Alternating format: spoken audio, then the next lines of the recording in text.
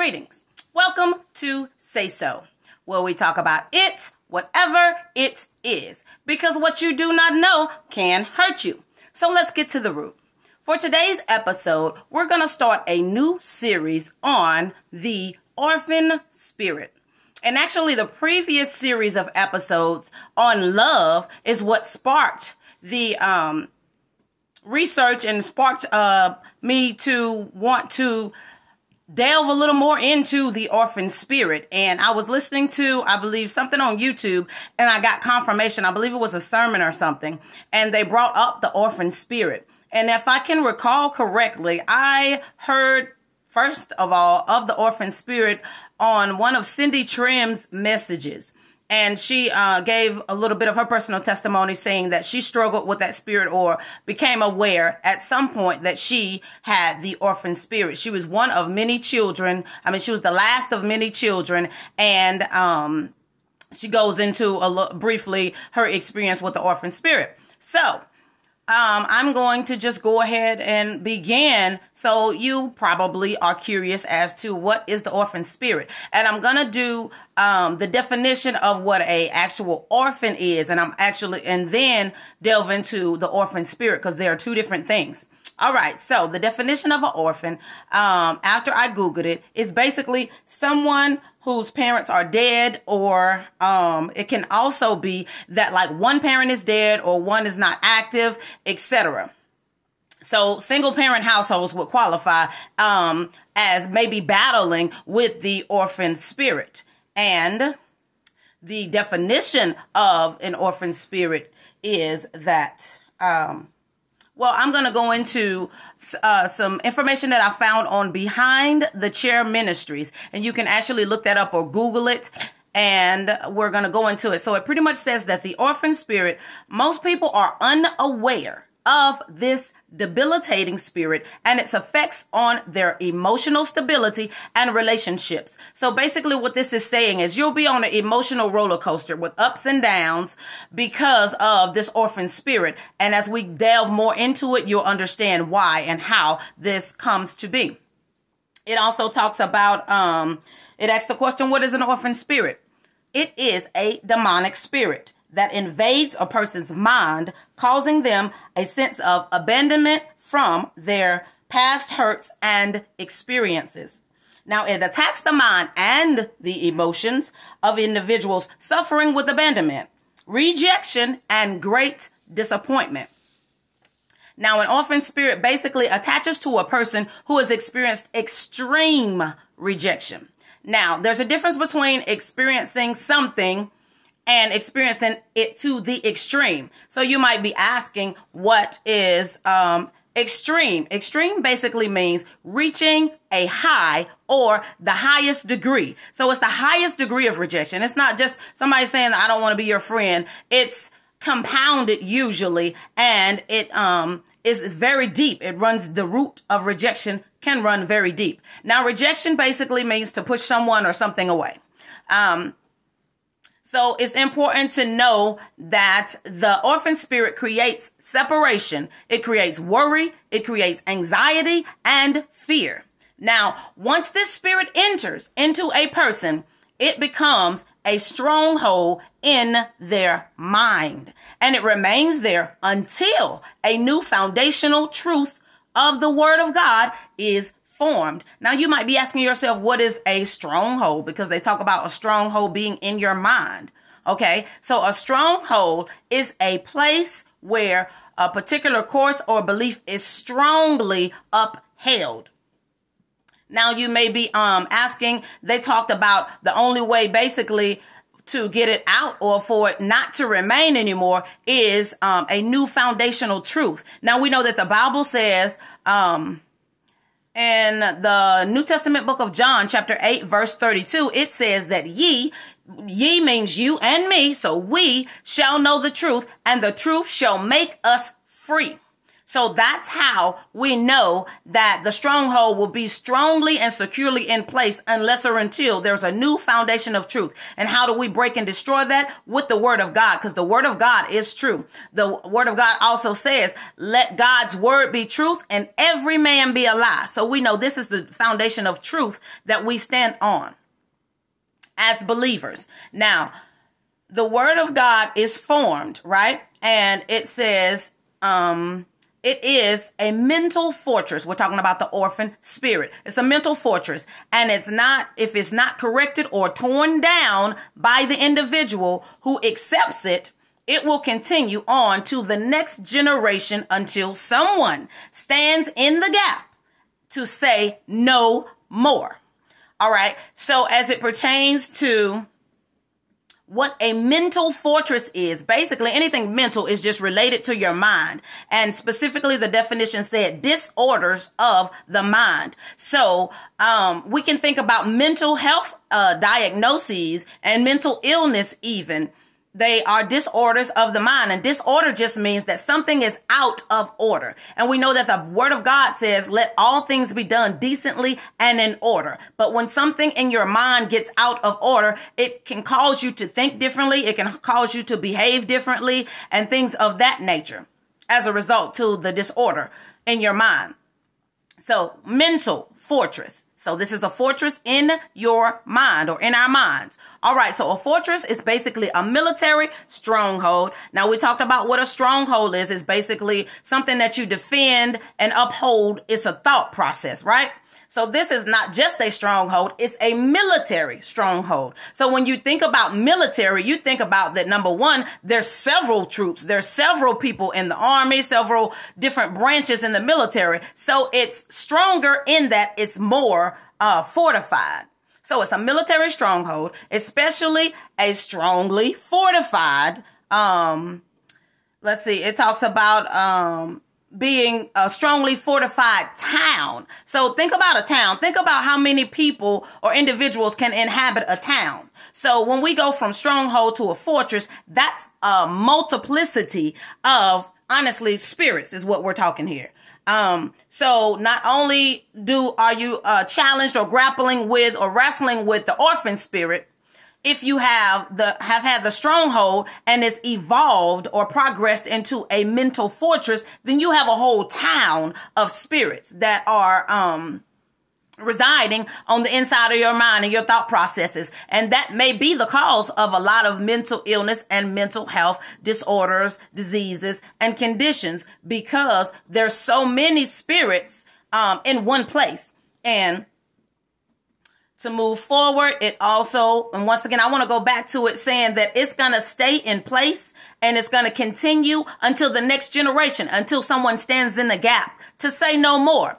And the person that will stand in the gap to say no more is the generational curse destroyer. And my hope and my prayer is that I'm speaking to the generational curse destroyer on the inside of you. If you're um in your family and you notice patterns and you notice how something goes from the daughter to the to the mother to the granddaughter or comes uh, to the grand from the grandmother to the daughter, to uh, her daughter, etc., etc. And you see these patterns and you understand and know that it is not something that you desire to see or continue to see in your family, then you might just be the generational curse destroyer. If you're the black sheep, you don't fit in. You don't think like everybody else. You're not like everybody else. You can try to fit in, but you just do not because you're just different. You're fearfully and wonderfully made. You're unique and God made you that way. He made you to stick out and not to conform. So this is for the generational curse destroyers. And you destroy the curse. Um, or the curses in your life and the patterns of your bloodline specifically.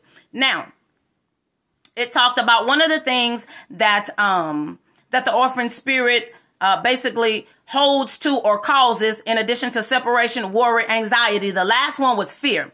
And let's remember the acronym that fear is false, F false, E evidence, A, appearing, are real. False evidence appearing real. So that's a deception and a, a, form of deceit that we have come into agreement with and accepted. It also said up here earlier that the person who accepts the orphan spirit. So it's a point of you coming in agreement with it. You're basically believing a lie of the enemy that nobody loves you. You're unlovable. You're not worthy. Um, you don't have any parents and you may not have any, um, physical parents, or maybe your caregivers weren't the best. There may have been abuse or um, neglect or any, or things or trauma, things of that nature. But that doesn't mean that you should come in agreement with the fact that you're unlovable and unworthy. Just because those things happen to you doesn't mean that you are those things.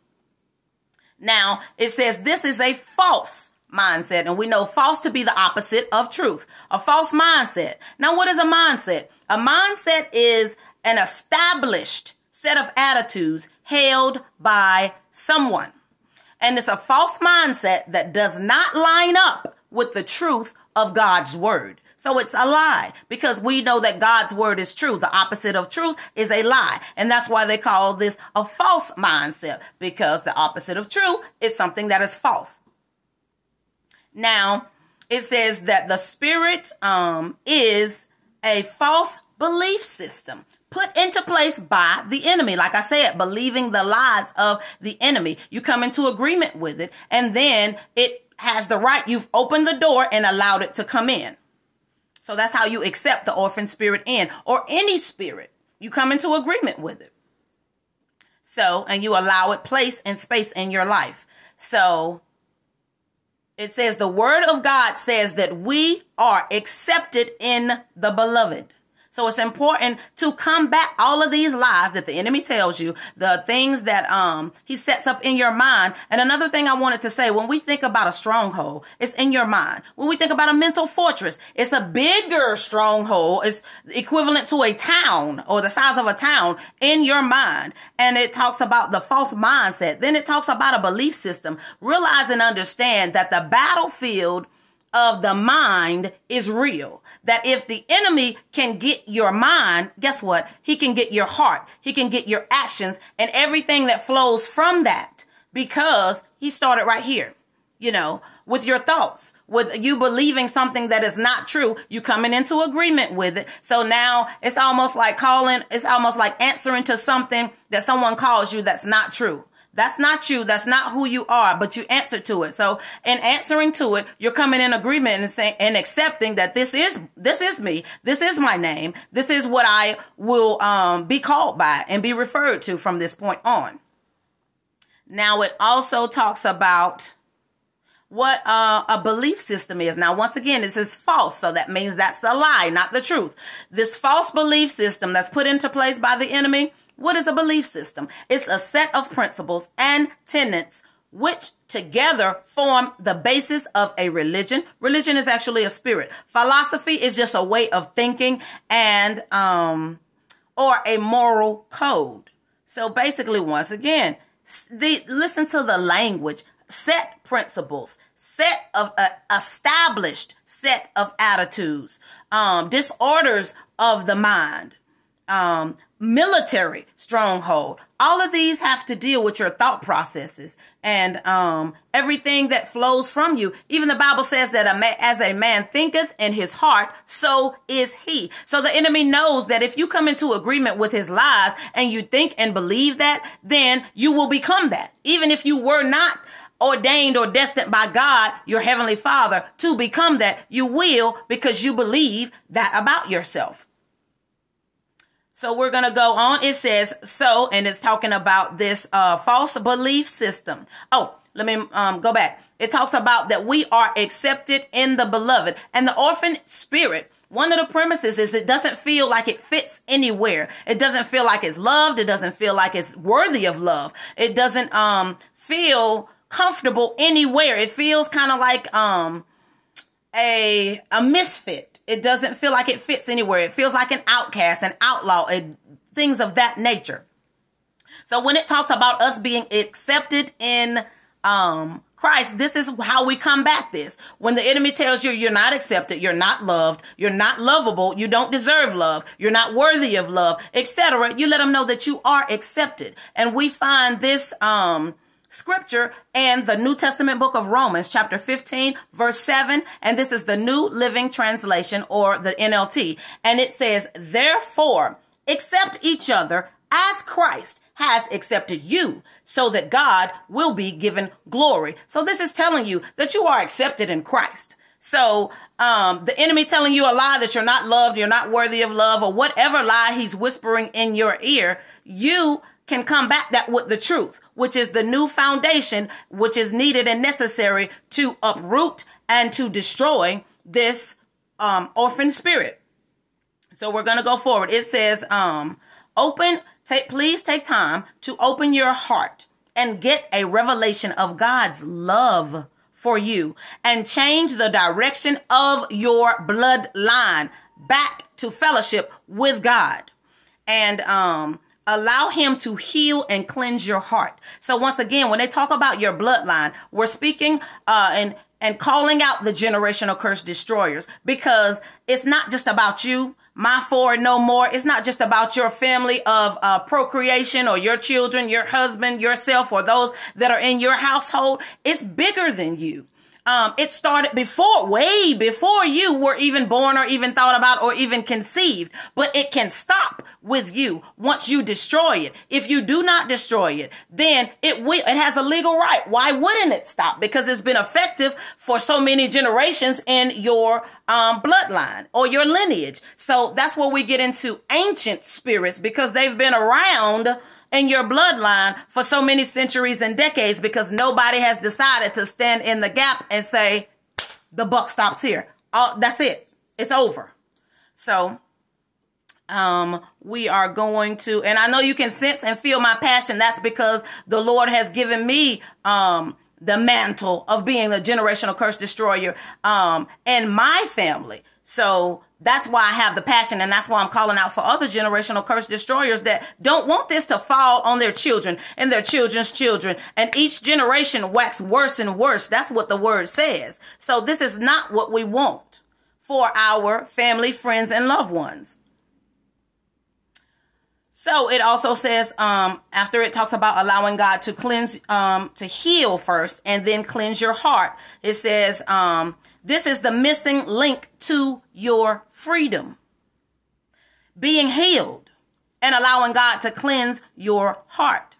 So if you want freedom, these are some steps that will need, are needed and necessary to progress in your journey towards healing. Now, there's a um, quote here by Aileen Moore. She's actually the one who authored this entire article. And it says a an orphan spirit is an identity that lives apart from Jesus, loving us with his perfect love. So you're choosing to separate yourself. You're choosing to isolate yourself. You're choosing to be withdrawn because you believe the lie that you don't fit anywhere, that you're an outlaw, you've been cast out or cast down.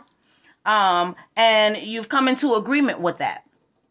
So all you have to do is turn to God and turn back to his perfect love because he never stopped loving you regardless of the lie that the enemy has told you that you've even begun to believe and come into agreement with. Your heavenly father loves you and nothing you can do, have done or will do will stop that.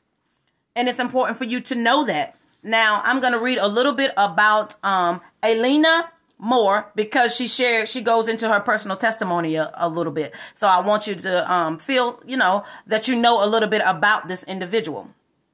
So she's a caucasian female and her name is alina moore. Alina is a passionate on fire for god freedom fighter and prophetic intercessor operating in the gifts of discernment words of knowledge and healing making a difference in the lives of the brokenhearted.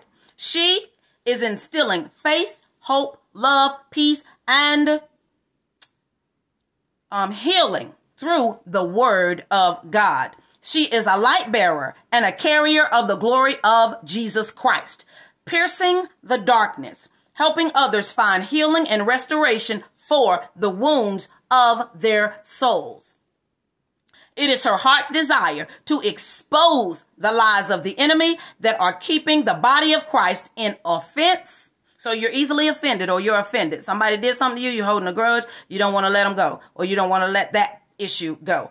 Bitterness, um, anger, and unforgiveness. These are things that you can't look at a person and, and know that they're walking in unforgiveness. You can't look at a person and know that they're bitter or they're offended or they're angry. You can tell by their actions if you stay around them long enough or their words. Because like they said, action speaks louder than words. Sometimes you can tell, but you can't just look at them and say, oh, they have a problem with unforgiveness. Oh, they're, they have a problem with bitterness. Oh, they have a root of anger inside of them and, um, things of that nature. They're easily offended or they're walking in offense. Things of that nature. So it talks about how unforgiveness is plaguing the body of Christ. It is the heart of the Father to set people free from the bondage of unforgiveness. And there is definitely bondage in unforgiveness. The Bible even talks about if we don't forgive our brothers and sisters, then God won't forgive us. Now, how many of us can afford to allow our sins to be held to our charge? None of us, because Jesus wouldn't have came to, um, to be the propitiation for our sins. He wouldn't have died on the cross and he wouldn't have come back to take the keys to death, hell, and the grave if we uh, could bear our own sins. So it says, through imparting healing and deliverance ministry, uh, we are restoring the body of Christ back to the Father, whom is our life source. God the Father is our life source.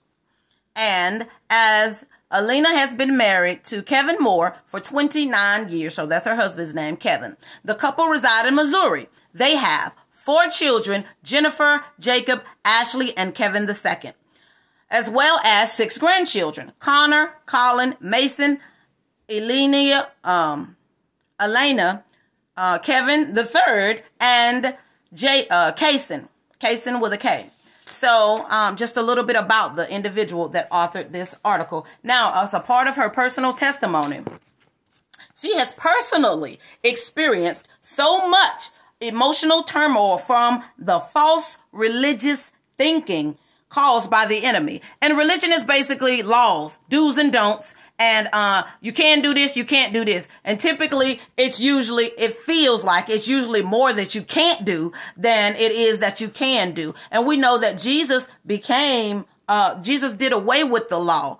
Um, when Jesus came, he is the New Testament. And, um, so, uh, she basically says, uh, the religious thinking caused by the enemy, wanting freedom for herself and her family. Generational curse destroyer um, is what kept her searching for the truth. It says an orphan spirit is an identity that lives apart from Jesus. Once again, um, loving us with his perfect love. That's her quote. Jesus paid a high price for our redemption. We are, um, a kidnapped royalty. So basically the high price that he paid was with his life, his blood, his suffering, his sacrifice, the, him being the ultimate sacrifice, the, um, lamb that was slain, the spotless lamb, the only person that could have stood in the gap for us and taken the punishment for us. So upon salvation, we begin a personal relationship with Christ. Um, we begin to have revelation of the ransom he paid, which, which with his life. Um, and ransom is usually when somebody is kidnapped, they ask for a ransom. Like, you pay me this much money or you give me this and I'll return this person. So in order for us to be returned back to God, because after Adam's, Adam's fall, um, you know, then that put us in, and it put us out of right standing with God. And that put us in a bad way, honestly. Um, where they used to walk and talk with God in the cool of the day, that was no more. There was a limit um put up and they could no longer have access to God. All right. So God's love and acceptance of us stand before we were formed in our mother's womb.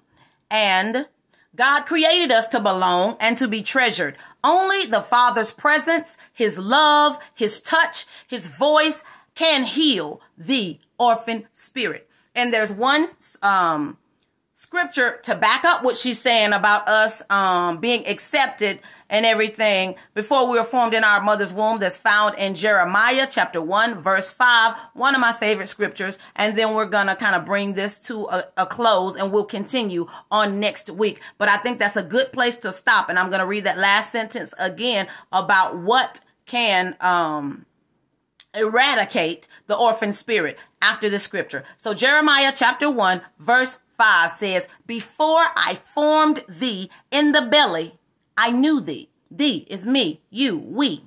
And before thou comest forth out of the womb, I sanctified thee, you, me, we. Um, and I ordained thee, you, me, we, a prophet unto the nations. So God the Father has that much of an intimate relationship with us that he knew us before we were formed in our mother's womb, before we were even conceived, before your mother and father knew that you were on the scene, that she, before she knew she was pregnant or with seed. God already knew and formed us. So I'm going to read this again. Only the Father's, his presence, him being there, his love, his touch, and his voice can heal the orphan spirit. So I want you to prayerfully consider um, and ask the Lord to search you and see if you have any of these issues. If you struggle with anxiety, if you struggle with fear, if you str- struggle with separation or fear of separation or separation anxiety, any of these things, the root of it could be the orphan spirit. Don't choose not to be deceived and actually really look to see if this could be. Okay, so until next time, I want you to remember that God and only God has the final say so about where you've been, where you are, and where you're going. You're simply in the process of becoming.